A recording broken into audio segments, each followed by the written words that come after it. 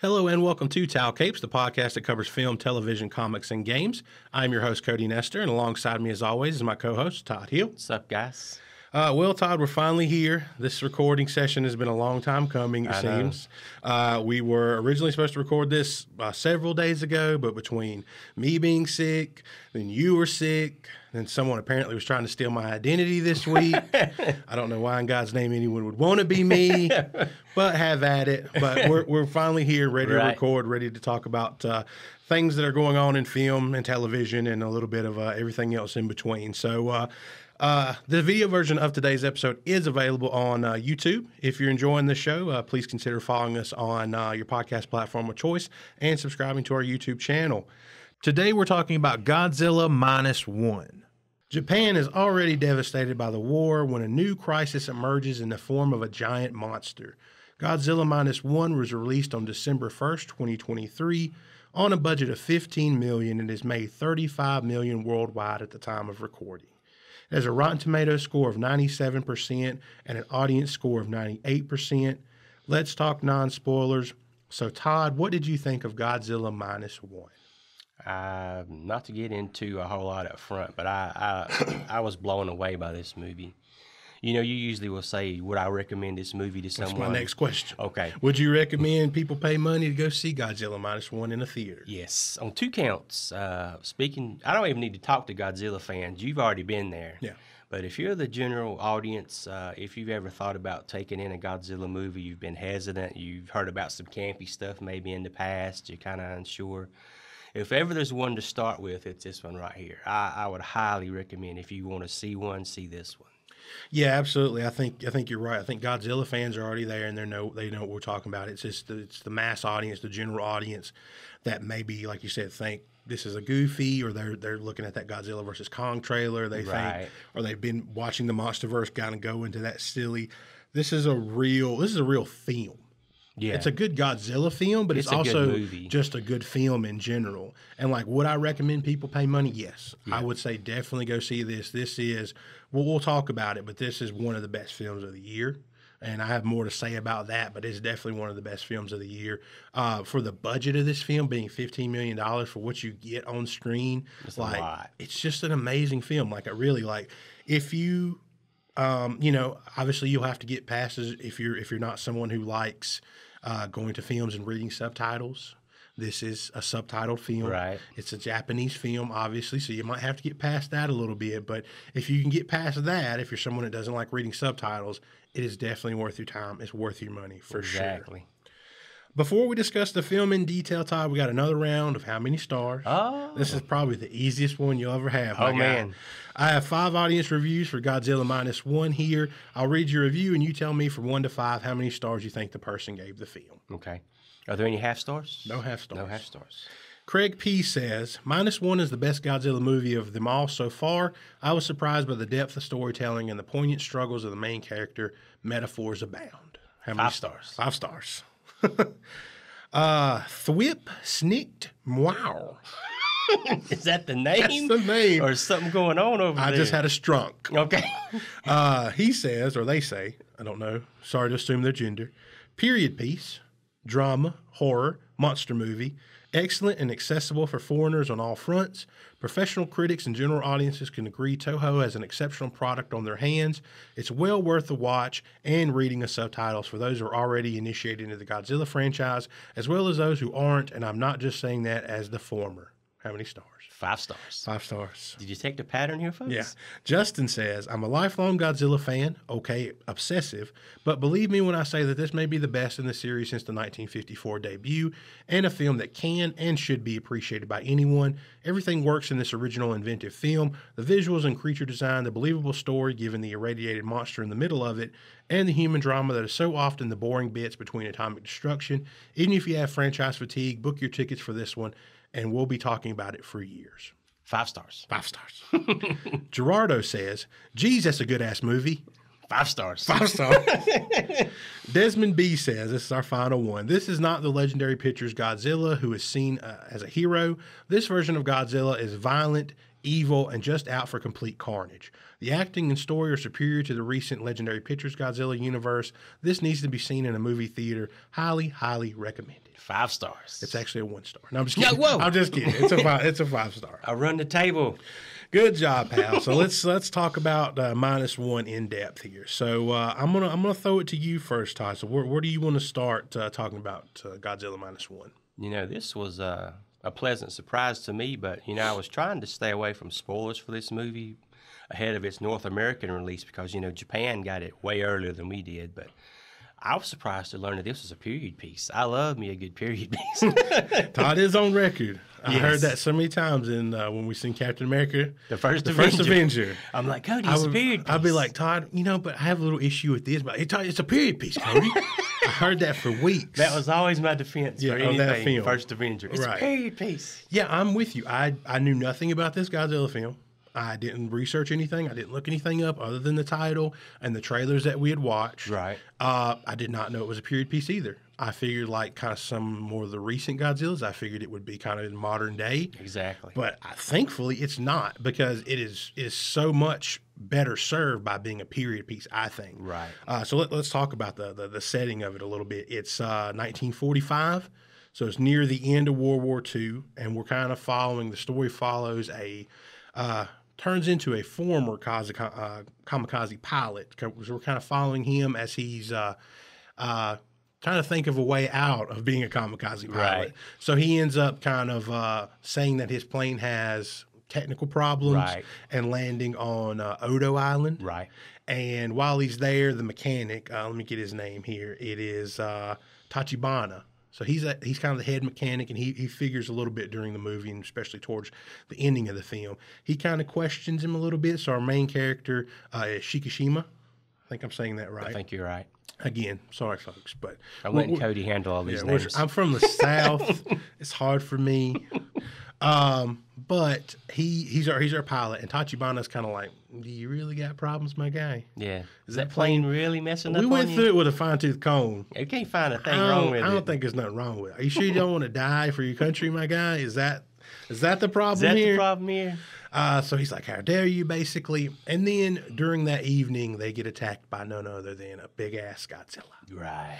Uh, one thing I really like, I don't, I don't know, I'm, I've never watched, you know, I haven't watched all the Godzilla films. There's quite a few. I've watched a handful. Uh, is it something you ever remember seeing the, uh, the, so when Godzilla is nearing or about to appear, we get a lot of like fish and creatures from like the deep sea floor kind of popping up in the water. So is that something that's that's been in Godzilla lore before? Or is that something new to this? I'm trying to go off of memory. I think maybe that may have been something touched on in the original. Now I may be wrong. My memory, God knows it ain't what it used to be. Right. I think that has popped up maybe in the series before. Right. Okay. I, I don't know if it has or not, but I think that's a that's a nice little It was a detail. nice touch, it's a good precursor, like because it, it's done a couple times in the film, and then it, you know, there's a couple times it's not spoken about really, and you're like, oh shit, we know Godzilla's coming now because here's some here's some Fish coming up crazy top. shit from the seafloor. um, but when Godzilla first attacks, you can clearly see that he's not that big. He's still kind of on the small side. Yeah. So throughout the film, like we kind of see that he's. Uh, I think that they they kind of say that he is uh, kind of mutated and grown from. Let me see where it was here. Uh, they're they're doing some like new uh, nuclear tests at uh, I think it's Bikini Atoll. Right. Is what they say is where he was kind of irradiated. But when you first see him, he's just he's not he's not big. He's not much bigger than like probably a couple stories tall, like a house size maybe, something like that. But he uh, he kind of comes through and kind of decimates the mechanic, mechanics on Odo Island. And Shikishima, he gets in the plane. Tachibana tells him to get in his plane, uses like you know 20 millimeter gun, whatever it is, to Right. kind of like shoot Godzilla.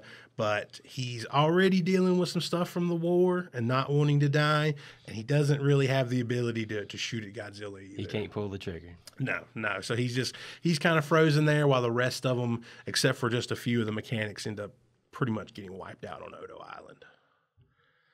What else you got, Ty? Where you want to go next? I was actually a little bit concerned in that first Godzilla scene because it was lit kind of darkly. I'm like, oh my God, don't tell me we're going here. Right, we're gonna hide. Thankfully, we didn't. Yeah, we're gonna hide the way he looks. Right. A la Godzilla '98. Try to hide him behind darkness.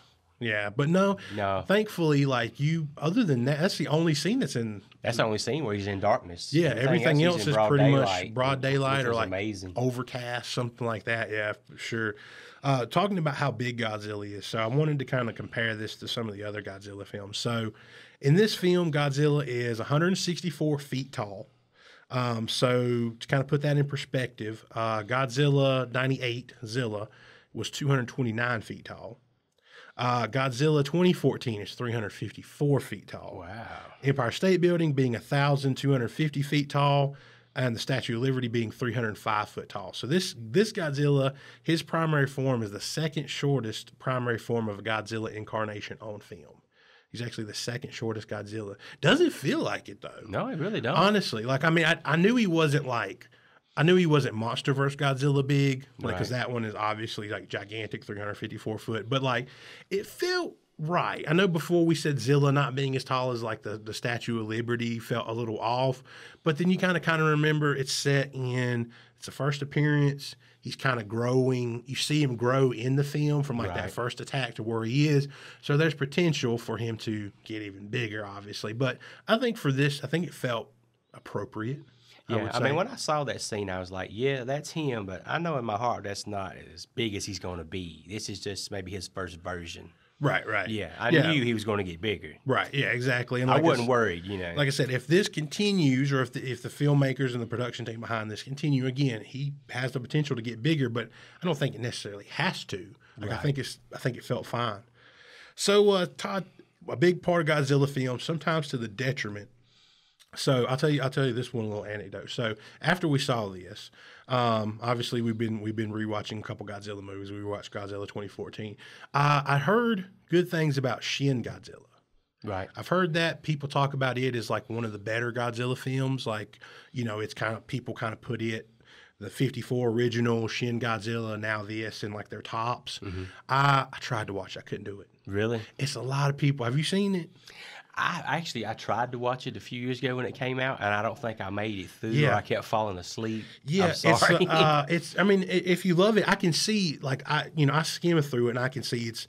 I know it was known for a lot of weird Godzilla stuff. Mm-hmm. You know, it seems like he kind of like you know starts off like tadpoleish and got these like real big bug eyes and like he kind of keeps evolving and like he he evolves different means to like subvert the military. Like you know, not only does he have like his like atomic breath, but he's got lasers coming out of his back and all this kind of stuff. right. But the thing with Godzilla films is like most they're known for, you know, the big kaiju action, but they're also known for a lot of boring stuff with people talking in boardrooms and Right. meeting rooms and stuff like that. And that was Shin Godzilla for me. It's a lot of people talking in boardrooms and not a lot. And that was a worry that I had about this. Oh, Going into it exactly, is like, all right, what is the human drama going to be here? Like, what are we going to see? Is it going to hold my interest? And it absolutely does. I don't know if it's just the period piece or the way the characters are done, but uh, kind of tell us a little bit about our main character and kind of the the backstory of the human drama here. Yeah, I mean, like you touched on, the human drama and the human element in this movie is it's the best I've ever seen. I think in a Godzilla movie. I mean, the close second, or maybe a little bit above, would be the original 1954. But I may even give the nod to the human element in this one over that one. It was just, it was top notch. Yeah, so we got uh, so we got Shikishima. So he's our he's our former kamikaze pilot. He's so sort of our damaged kamikaze pilot. Can't deal with you know the thoughts of killing himself. For He's got country. and he and he's got survivor's guilt too from Right. from not being able. So he's got a little bit of PTSD. He's also like kind of ridden with his survivor's guilt. We kind of see him go back to um, his hometown, uh, looking for his parents. Obviously, like It's been bombed. It's been bombed out from the war. Uh, his parents are gone. He, we kind of see him talking to his neighbor uh, Sumiko. Right. She kind of fits a little bit. Uh, kind of pops up uh, several times throughout the film. She's kind of telling him, you know, kind of what happened there, and then he kind of meets. Um, Kind of like a, a little kind of vagabond, I guess. She's kind of like just somebody homeless. from his town. Yeah, she's kind of homeless. There's it's just uh, it's uh, her name is Noriko, and she is like just kind of uh, she meets him. Uh, she ends up she's being I think chased by somebody, uh, and she's got a little baby with her. Not even her. She just found the baby. Yeah, so yeah, we learned throughout the movie like it's. Uh, I think she was near a hospital or like worked in a hospital or knew someone that was hurt through the attacks, and they're like, "Hey, you know, we're not going to make it. Can you take our child?" Right. She agrees. I think the baby's name is Akiko, if I'm not mistaken. right. Yeah. And she agrees to take the little baby, and then in her being chased, she's like, "Here you go, hot potato," and she she gives the baby uh, uh, to Shiki, and he kind of like it's like, "Oh my god, what do I do? What do I do with this kid? Where did this woman go?" She ends up reappearing later, and they kind of like form this little like Dysfunctional type family. Yeah, not really a family. yeah, it's exactly. It's like kind of a little makeshift little family, and like, you know, you would think it would be boring in a Godzilla movie, but the the backstory, like the little family drama, you kind of see them. I think we're in like 1947 at this point, so we're we're a couple years removed from everything at the beginning of the film, and they're just kind of making their way in the world. Like he's trying to find a job. Um, she's at home taking care of the baby, and you kind of see them kind of grow as characters and their relationship kind of grow throughout the film, especially the early parts of the film. You know, he ends up getting a job. You see their little like house that they live in, like mm-hmm. goes from like this little hovel hole in the wall. They kind of start building it up little bit by little. They start dressing like you know they go from like rags and like Dressing nicer. Right, exactly. You know, we see her kind of like schooling and like taking care of Akiko and all this kind of stuff. And it's just like really like it's sweet and it's cute and it's interesting and it's like there's good there's good dynamics. And at first you can kind of see Shiki is like he doesn't want anything to do with her in like a romantic capacity. Right. But then that kind of grows a little bit throughout the film as Yeah. they get closer to each other. Um, and then we eventually see that Shiki takes a job with the military, uh, basically being a minesweeper. Right. Right. So the U.S. and I guess you know, uh, you know, they put a bunch of like mines under underwater, like dur- during the war, like these big ass fucking like you know mines, and they hire different contracted boats to go out and kind of like go and like sweep for those mines and like disable them, like basically cut them, bring them to the surface, Blow and blow them up. exactly. So he uh Shiki ends up getting onto a ship. Uh, what is the ship's name? The ship I had it here. Where we were talking about it before. Uh, the Shinsei Maru. Ah. So he boards that ship, and then you've got our captain, which is Yoji, which is an important character to remember. We've got Shiro, which is kind of like a young guy, like, hey, I want to be in the war. No, no, you don't. You don't know what I've seen, boy. You know what I mean? Right. We got that kind of set up character, and then we've got um, there uh, I think it's Sasku. He's like another like one of the the techs on the ship, and then we've got uh, Kenji Kenji Noda, which is our doctor. He's our uh, kind of our scientist. He's a former Right. he worked as a weapon engineer through uh, through the war, basically for Japan. So that's kind of our little ragtag group of. Uh, group of people on our little ship here and then there's a point in the film where it kind of gets a little bit like jaws You know, I thought about that. Yeah, it's I like actually did. It kind of it kind of comes to a point. There's a point where um, they know. I think it's um, they're trying to basically stall Godzilla. They tell him that they want him to like you know kind of blow him up or whatever, but it's really like a stall tactic. And they're kind of out on the open sea, and he's like trailing them. And it was like very He's very following the boat. yeah, exactly. It's, very it, Jaws It like. very much felt like felt like Jaws. I really love that shot because you of like Godzilla, just his top of his head, kind of Mm-hmm. just following like this big ass creature, just following this little tiny Little boat. Exactly, exactly. So they're they're just stalling for time for like a bigger, you know, kind of vessel to to arrive. Um, but then they end up uh, cutting one of the mines and uh, trying to like kind of maneuver it to go into Godzilla's mouth, and they do, a la Jaws Right. you know, uh, the the uh, the gas tank, tank, air tank, yeah. exactly. So it goes into his mouth. They shoot the tank, and then that kind of blows part of Godzilla's head off, and they can see maybe this thing can be killed, Right. right? You know, like if this damaged him, he's not invincible, but he heals super Quickly, quickly, super yeah. quickly. So it's going to take more than just one little mine here. What did you think overall of the look of Godzilla? Let's talk about that. Man, I thought he looked fantastic. I mean, he's big. He's thick. yeah, I said that to you. I was like, once we got out of the movie, I was like, Godzilla got a fat ass. like, uh, I mean, he's very, very like.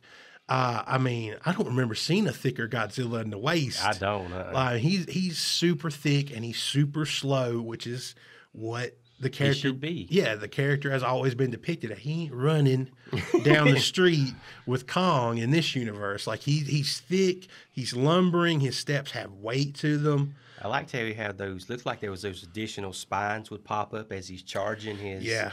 I always called it atomic breath. Didn't they So- call it fire breath here? No, they call it heat ray. Heat ray. Okay. Yeah, so in this, like he has his uh his atomic breath, like a, that's what I've always known it as. Mm-hmm. But like here, they call it his heat ray. But yeah, I think that's something that's new for this film. Like in the new in the Godzilla mythology, is those spikes that raise, super super effective. Like not Mm-hmm. Yeah. only because this, unlike the Godzilla 2014, it kind of obviously you see the blue light, but it kind of builds through that um the kind of the the the sound that you hear that Yeah. like you hear that in the 2014 so like in this one there's not really much of a sound. It's like you it's signaled when he's going to release it by those spines Mm-hmm. growing. Uh it's just Hey man, when it releases, it's it's fucking devastating. yeah so let's let's talk about i think i think it may be my favorite part of the movie. I don't know. Like there's so many good parts but like uh walk us through what happens in ginza you know what i'm talking about? When godzilla attacks ginza. Where he makes landfall and he attacks the train that uh,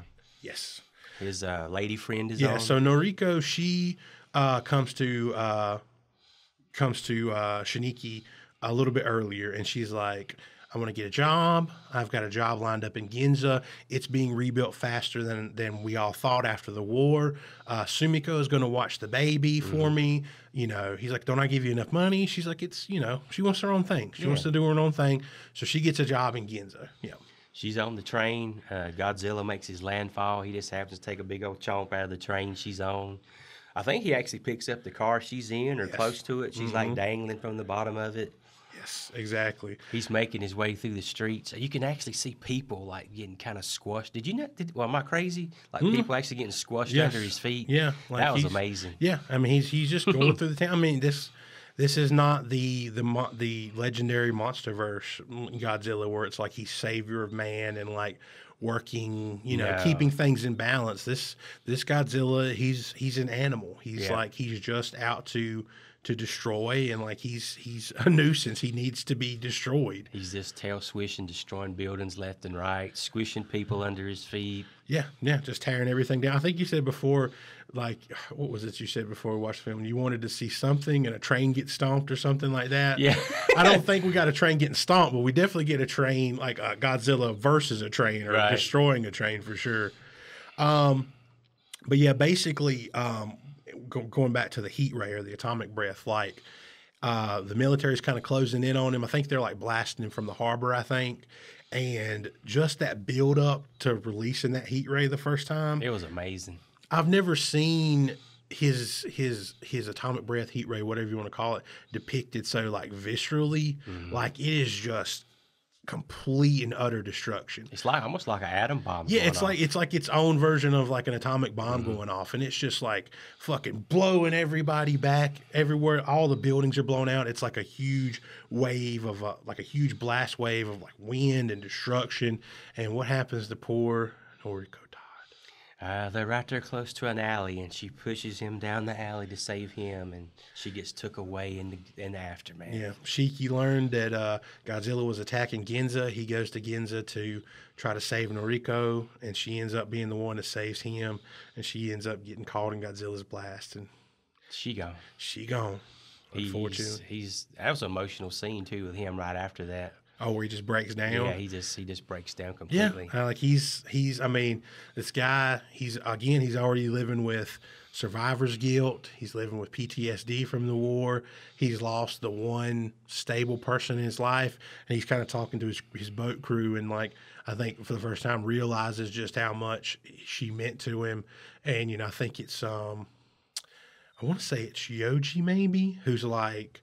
Why didn't you tell her you love her? you know, like right. why didn't you marry that girl? And it's like mm. I should have, you know, like kind of thing. And it's like it's really again the human drama. It was am- it was Every great. bit of it works. Every every absolute bit of it worked. There was not a scene with any human character. I'm like, oh, where's Godzilla? is, is, is it time for Godzilla yet? I mean, in most of these movies, that's what that is. Is Yeah. you see that human stuff start, you're like, oh Jesus, when's Yeah, Godzilla coming? time for me to take a Oh, piss. I want to go get something to eat out of the fridge. Yeah, but not here. Like I mean, it was really, really good stuff. I can't, I can't kind of you know emphasize that enough. Another thing that I think, uh, ob- obviously, we talked about the setting, the look of the film. not only the setting of it, the look of it, like just the the cinematography, all that absolutely top notch. It had kind of I don't know if it's just me, it had a very Christopher Nolan kind of look Right. and vibe to it. That might Right. just be me, but like I equate it to kind of that kind of level of filmmaking. Like Yeah. it's all top notch. Another thing that's absolutely perfect in this film is the music. Oh yeah, that original score hits, man, and it's Yeah. just amazing. Not only is there like the original score of the film that's just absolutely perfect for the scenes in the end, but you get that original Godzilla kind of thing, brum, you know, that kind of stuff. Yeah. And you think it'd be like too much, but it's not. It's, just it just really cements everything right on top of it. I mean, it, it's absolutely it's absolutely flawless. And the amazing thing about that first uh, landfall scene is it starts, it happens, it finishes, and we don't cut away to any human shit. There's no tease. There's no, oh, they're going to fight. Well, we're going to go talk 20 minutes. We Yeah. might see the fight in the distance. Right. Oh, here's a little bit of the end of it. It starts, it happens, it ends. You see it all. It's there. I mean, and there's there's not to me. There's not one bad cringe effect. We've talked about that before for other films. This is a fifteen million dollar. Like we're we're we're going to record and talk about another Godzilla movie after we record this one, actually. Right. But like that had a hundred and sixty million dollar budget that does not look as good as this does. No way. This is it's impressive, and like the look of Godzilla, not only it's just nailed. It's like it's it's close enough to the classic, but it also kind of stands on its own a little bit. Exactly. It's not got that. And then there's good parts about the other versions of Godzilla, the MonsterVerse Godzilla that I like, but like this is when you think Godzilla, like that's in my mind, I think this is the closest What kind it's of. supposed to look like. Yeah, exactly. Or at least how he was, you know, how Toho originally created him and how he's been imagined. This sticks very, very close to Very that. I don't think anybody could be unhappy with that. That's a fan of God, a true Godzilla. I think.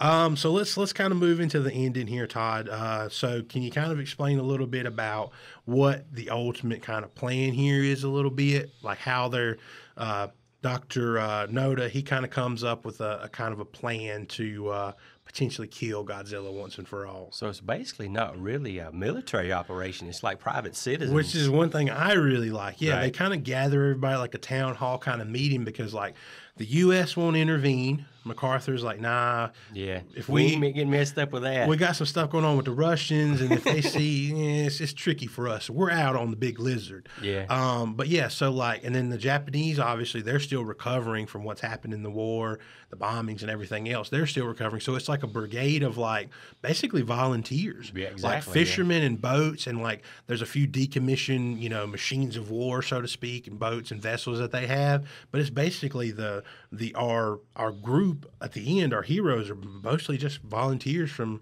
around Japan. Right. So he's kind of got this plan where if they're going to uh, kind of get in close proximity to him as they can with these boats and kind of engulf him or entrap him in like freon chamber type belts. Yeah, so there's like uh, they want to like basically wrap around him in like freon tanks because like if you rupture them, they kind of uh, they kind of uh, lower the water's like buoyancy and it would cause him to like sink. Sink like a rock. So they want to sink him to like 1,500 feet. And if that, the pressure doesn't kill him, the other plan is they've got some guys from like the balloon company or whatever it is, you know. Raise him up really fast. Right, they're going to bring him up and kind of you know give him Decompress that, him. decompress him. So if the sinking doesn't work, the bringing him up may end up being the thing that uh you know kind of the pressure, the rising pressure back may crush him. Yeah. So that's basically the plan in a nutshell. So take us through kind of a little bit. Uh, what else is uh, what else is going on with our main character though? He's got his own ideas. He's he's he's going to do it himself. You know, he's carried all this guilt and all this emotion through this whole movie, and uh, he sees it up to him to take this guy out. He's going to take out the creature. Yeah, so to do that, obviously he's a pilot. So to do that, he needs a plane. So I think uh, the doctor kind of tells him like where they have a decommissioned plane. It's a J7W Shinden fighter. So it's kind of like a prototype fighter they were making for the war. Uh, they've just kind of been left to kind of rot and hang out. So it needs to be repaired. So uh, they find the old engineer from Odo Island. Tachibana. Right. So he goes to try to seek out Tachibana. The only way he can do it is to kind of uh, kind of uh, antagonize him. He sends letters out to him to, to hopefully he gets one to like say, "Hey, it's not my fault all those people died." Blah blah blah. Like you blame me. Yeah. And so that does get Tachibana to come out of hiding. Tachibana comes out and beats his ass, uh, and then he kind of reveals what he wants to do. He wants him to repair the plane for him. He does, and then we kind of get a little at the end they repair the plane and he's kind of like all right here's here's this in the plane here's that in the plane and we kind of like we our audio pulls away so we can't quite hear what he's saying at the end as he's like showing him something in the back yeah. there and you're like hmm What's he telling him? what's he telling him there yeah exactly so uh, they start the plan the the the day has come to kind of get Godzilla there. It, the plan is for uh, Shiki to lure Godzilla basically out to a point in the ocean so they can encircle him with the boats, get the Freon tanks around him. For the most part, it goes pretty well. It goes pretty smooth. Yeah, for the most part, for roping a 165 foot dinosaur, it goes pretty smooth. Yeah. So they rope him up. I mean, he's kind of. I like the parts too where like Shinji, you know, kind of Shinji's kind of like flying around him, and like he's kind of like just barely kind of missing him. Yeah. All that stuff's really good. But uh, the plane goes pretty well. They wrap him up. They deflate him or they lower him. Uh, he gets down. They get him down to the 1,500 feet. But then when they try to use the balloons to bring him back up, at first I thought, I don't know if you did, but at first I thought it was like blood coming out of the water. I was like, oh, it worked. But it's like him biting through those balloons. Ah, And all the all the balloons that they're using to ascend him back up, he's like bit through, so only comes up to about 800 feet. Yeah. So they don't have the ship power to drag him back up out of the water until the rest of our volunteers show up from around Japan. With a bunch of tugboats. A bunch Yeah, so of we, tugboats. so we get our nice little like you know um, our little moment where all everybody bands together. They come, they hook up to the big boat, try to pull Godzilla's fat ass out of the water, and then uh, ascending him still doesn't work. So what happens from there, Don? So we get our, our main hero in his kamikaze run. Yeah. He's heading This- straight down Godzilla's gullet. This time he he's he he couldn't he couldn't do it what he he couldn't do the job before. He couldn't That's right. kamikaze and kill himself, but now he plans to do it. And what happens? He's going in, and he's just getting ready to go in and release the bomb right in Godzilla's old throat. We cut back to the plane being repaired. And his engineer tells him, right here's a switch. It's an ejector switch. You hit this button. You get out. You You, live. live. You live. You live. He forgives him for what happened on Odo Island, you know, because he blamed him for those deaths before, but it really wasn't his fault. And he tells him to live, and so he does. He ejects out of the the plane. Godzilla's head Right in his mouth. Mm. blown right, right to fuck off. Yeah, and that, that face gets fucked up. Yeah, I mean it's it's a cool. It's like I mean I'm telling you, the effects are just fantastic. It's For a $15 million Yeah, movie, there's it no- just great effect. yeah, there's no like you know, there's no cringe, there's no bad, there's no like ew, you know, none of that. Like it's all fantastic, and that the whole ending, like everything, just it's it's a great, it's just a great kind of climax to this film. It feels at the same time small, but in like a big way, if that makes sense. Uh, Like yeah, yeah. it's like it's a it's it's not like over the top, it's not overdone, it's not over dramatic or cliche. It just it feels like a real kind of scenario that you could see happen if a 165 foot dinosaur appeared out of nowhere and started destroying your country. you know? Um, but yeah, so he flies the plane in. They blow Godzilla's head off. Uh, he chooses to live in the end. Um, the crew members, they, they see kind of see his body break apart. The crew members, everybody kind of celebrates. Um, one other little scene we get at the end, and during the battle, kind of going back and forth. We kind of uh, we were talking about after the film. There's a part where Sumiko, his neighbor, who's who's watching the baby, he's Right. left the baby in her care after uh, died. Uh, Noriko died, and she gets a telegram. Like it's kind of like inserted like right in the middle of the battle. So you're like, who gives a fuck about a telegram? Why is she getting a letter right now? Who cares? I asked you if you originally thought what I thought. Like as soon as I saw that telegram, I'm like, that's a telegram telling her, telling someone that Noriko is still alive somewhere. And turns out she is still alive. She's recovering in the hospital. Uh, he gets this news. Uh, and goes right off to see her in the hospital. Turns out she is alive, so you get a little bit at the end of it. You get a little bit of your happy ending. Right. But- the family that wasn't really wanting to be a family is a family. Is a family, and back together. and we can only hope he finally told her that he does love her. Puts a ring on that girl's and finger. puts a ring on the finger. and uh, what what's our last kind of shot of the film here, Todd? so we go back down to the depths of the ocean and we see one of those chunks of Godzilla floating there and it starts percolating. Yeah, you can see Godzilla ain't done. He ain't done for it. He might it might take him a while to fully regenerate. It might be he might not be back to the seventies, but he's, coming, coming back. back. He's coming back. Uh overall, I mean, just just a fantastic film. I mean, there's not really a false note here that I that I can see. There's nothing that I can fault it for. Um, so, uh, what else do you have for us, Todd? Anything there? Uh, some things we kind of touched on throughout a little bit, but uh, there's some pretty violent stuff in this movie. Uh, Yeah. From the first appearance of Godzilla, you know, just chomping on those engineers, flinging them away, uh, people getting squished under his toes, Mm-hmm. Godzilla himself like getting his whole fucking head blown off. Yeah. Amazing. it feels it, it feels like a kind of an adult it feels like a realistic take on it it's not you know i'm not i don't dislike the idea of a of a, the godzilla character being like friend of man and Right. a balance, you know, a, a, a being of to, to make the balance of the world and that kind of thing. And there's room for those takes. But if you're if you're wanting my personal take on it, like what I want in a Godzilla film, it's this. He's you know he's Just the force of nature. yeah, he's the antagonist and all this, and there's still room to go here for him to be the antagonist, and also maybe introduce you know Another other, other kaiju that he has to you defend know. Japan from. I doubt we'll see this film continued in any way. I doubt it. It kind of lives on its own, and I'm Right. perfectly fine with that. This can live on its own. There's also there's more room for other Godzilla takes, but I'm fine if there's not a direct sequel or anything to this. I think it's almost damn near perfect as Yeah, is. exactly. Uh, so Todd, uh, ready to go into our final reviews? I think I'm ready. All right, so we rank films using a 1 to 10 scale. Starting from 1, the ranks are torture, 2 awful, 3 bad, 4 subpar, 5 mediocre, 6 decent, 7 good, 8 great, 9 amazing, 10 masterpiece. Todd, give us any final thoughts you want and your review score for Godzilla minus 1. Uh, I think we've all heard the old familiar saying, you know, you can't go home again. Right. Well, Godzilla did. Yeah. He went back home to the studio that brought him to life 70 years ago. And what we get is, in my opinion, the best Godzilla movie since the original.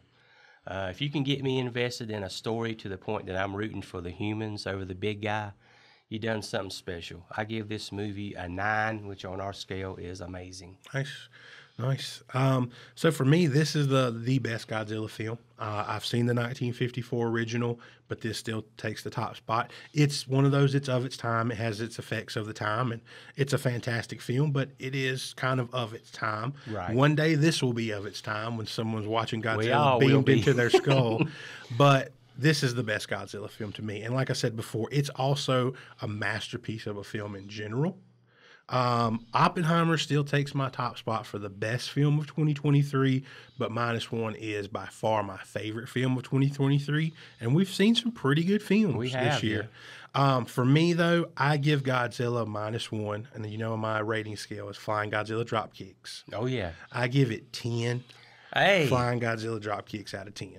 I, I can't, there's not a fault in it. I think, I think it's a 10 out of 10. I rank it as a masterpiece. I can't argue with you. I, cannot. Yeah, I mean, for me, I've only given two two tens since we've been doing this, and this is my second ten, and it goes to Godzilla minus one, and I think it's very deserving. If uh, seriously, if you're listening to this and you've been debating it, uh, it's gonna have a, a little bit of an extended.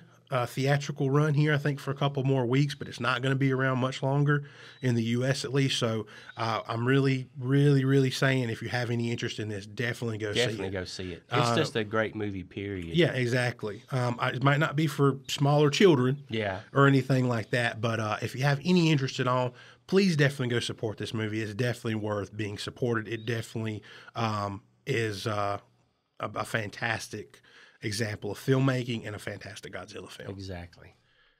So, Todd, tell everyone how they can find us and stay up to date with us on social media. We are Towel Capes on YouTube, Twitter, and Instagram. Towel Capes Podcast on Facebook. You can also email us at towelcapespod at gmail.com. Also, if you're so obliged, leaving us a five star review on your podcast app of choice really helps the show. Be on the lookout for this week's Popcorn Mumbles. We'll be talking about the 2014 film Godzilla.